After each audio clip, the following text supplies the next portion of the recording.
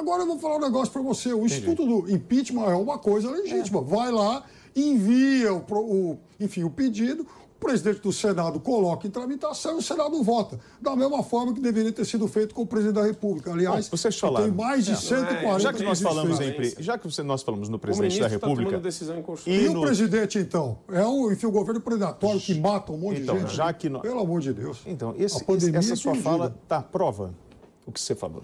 A pandemia matou mais de 650 mil brasileiros. O vírus. com, inclusive, O vírus. mil. Da mesma forma que o Daniel Silveira não pode atacar o ministro, você não pode atacar o presidente. Claro que eu posso. Ah, tá. Então é, cada um fala o que quer. O Vambora, governo vambora. dele. Vamos governo atacar dele. todo mundo Não, dessa sociedade.